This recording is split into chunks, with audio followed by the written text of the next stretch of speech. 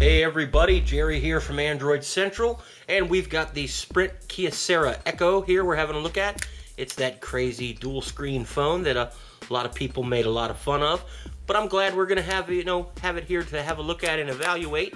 Bring something a little bit different to the table, and if you know me, you know I like different. Uh, have a look at the hardware. Let me shut the screen down. Uh, number one, fingerprint magnet. Number two, because of the way you manipulate it, you're constantly touching the screen and the power button apparently. So I'm going to go ahead and shut that off while we look at the hardware itself. Notice on the bottom, you've got nothing. On the top, you've got nothing. On this side is nothing but the hinge, so there's nothing there. Uh, there's nothing up my sleeve either. And we flip it over, and all your buttons, ports, controls, everything is all lined up on one side. Uh, first thing I thought of, that would make it handy if you carry it in a horizontal holster of any kind. All your, everything you would need access to is up top. We'll start over here. You have a three and a half millimeter headphone jack. Under this cover, let me pop it open so you can see that I'm telling the truth. There's your micro SD card. You push it in and it'll eject itself and when you want to reseat it you push it in again. We've seen that before. Pop that back on. Here's the power switch. Here's the volume rocker. If you have the phone in the right position up is volume up down is volume down. And finally we've got the USB port for charging data transfer whatnot. Excuse me close that.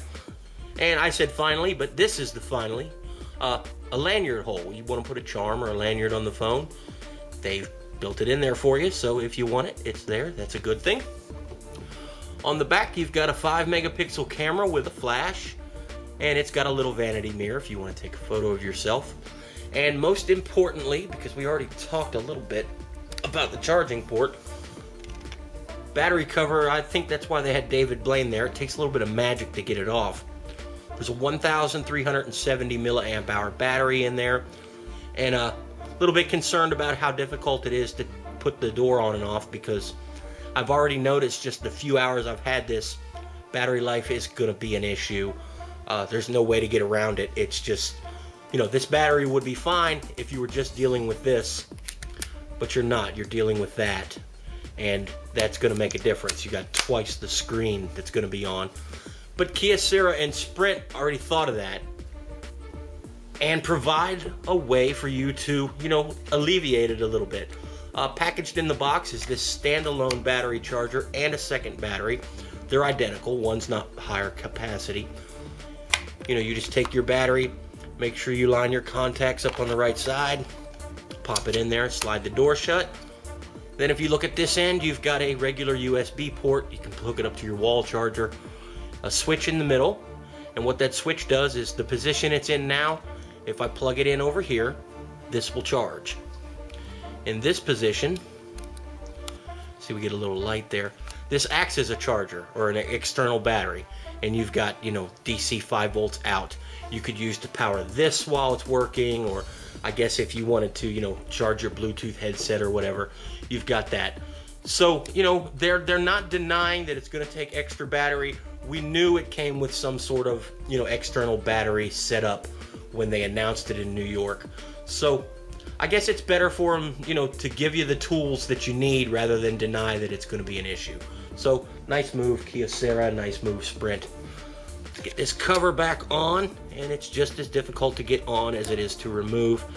And of course, when I said that, it went right on with no problem.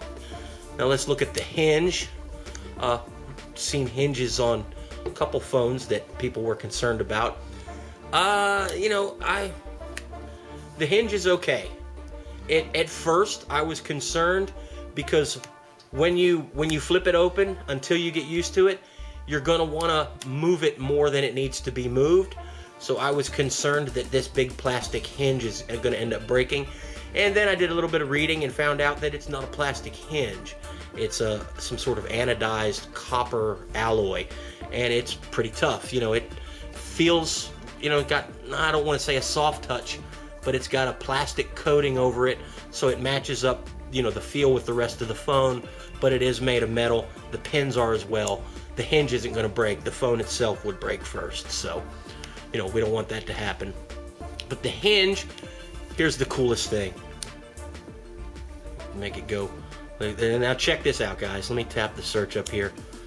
Keyboard takes up the whole bottom. There's my search at the top. It's like a little tiny laptop. I feel like a giant. I, you know, I just love this. I get intrigued by gadgets, and that's sweet.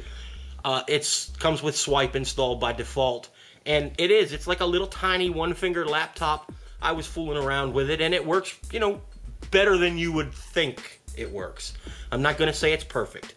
And I didn't, you know, only evaluated this for just a few minutes before we showed our first hands-on. So I don't want to, you know, say it's too good before it actually have, you know, we have a good look at it. We'll take a quick look at the software. Uh, it's basically stock Android. You know, it's it's I want to say themed or skinned very very lightly. Uh, no Sprint ID on here. I don't know if that's good or bad. I guess that depends on your opinion. We can look at the widgets and you can see there's nothing fancy installed. Uh, it comes with a separate digital clock that I wish Android came with. Uh, there's your home screen tips. I did, you know, sign in, wanted to make sure everything worked. I've, I've installed Google Voice myself. There's Jibe, that's in the app drawer. We'll look at that in a minute. All your Sprint stuff, NASCAR, uh, Sprint football, Sprint TV, system panel, Tapatalk, those things I installed. Gonna use system panel and really check out the battery and see just how much of an impact the screens have. So that'll be handy. Five home screens. Uh, the screen itself is very responsive. Uh, I mean, it's it's very responsive. It's no funkiness, no slowdown. If you touch it, whatever you touched is going to happen. And that's that's a blessing and a curse because whenever you manipulate it to open it, you're constantly touching the screens. So not only you get fingerprints everywhere, but you're you're you know you're shutting Wi-Fi off and everything else. So you'll have to get into the habit of shutting it off before you take a you know a quick thing to pop it open. Notice it is in what we call landscape normally turn it like that and you know portrait it's one of the few phones that it doesn't do 180 so that's okay good time to check that. Pop it back here. It's one of the few phones that has a you know a stock landscape launcher. And put it back. Does the same thing while it's closed. So if you are this kind of typer you know it's pretty cool. Your home screen is the same way. That's one neat thing. But what's really cool is find one of the apps that works. Okay, I'm gonna get in close here on the messaging app. If you're familiar with Android, you know this messaging icon is a tiny bit different. You've got an extra little, it's two little dots down underneath the icon. And I'll show you why that's there in a minute. Let's open it. And there's my text messaging application. It's, you know, the stock Android text app. And it pops a little window on the bottom says to launch a second application, touch both screens at the same time after tapping OK. So we'll tap OK, and I'll touch both screens, and it brings up a list of simultask compatible applications. So I can have my messaging app open. Uh, let's say I want to open up my browser on the top. I can just tap that, and it tells me that I can maximize or switch applications by touching the screen again. I'll dismiss that. But you notice I've got my browser up here and I've got my messaging app down here and you can browse. Let's go to Android Central. And look at there, pops right up. And you can be down here, you know, and compose a new message. And that's, you know, that's kind of cool. I, I like that. You can have two apps going. That's, you know, pretty neat way to multitask. Let's go back but I can look at the browser and if I decide ah I want to take a good look at that I can just hit that button and it maximizes it you know to both screens yeah that bar in the middle that's that's going to be an issue for a lot of you guys I don't know if I could get used to that myself uh, the browser I don't know if it's hardware or software you know this is the first dual screen thing we've ever seen but there's no tap that away. Remember it said if you tap two fingers it'll come up. There's no pinch to zoom or any type of, you know, anything like that. We can just pick another app though and it open on the bottom or we can multitask and open another app on the top. Go back to our messaging app. So that's really neat. You know, it's they're trying to take great advantage of the two screens and the way you can use it. You know, either one big app or two small apps. Uh, that's really cool, and we're going to take a good look at that. You guys will probably get tired of me talking about the Echo, but uh, I can't help it. It's a neat gadget. It's something new, and we're really going to check it out. But I wanted to give you guys a quick hands-on it. My little mini laptop I get to play with for two weeks. Uh, yay, I'm a giant. But uh, I'll, you know, we'll we'll have more information to share with you guys here in the you know the upcoming days throughout the week, and expect a full review of it of it soon.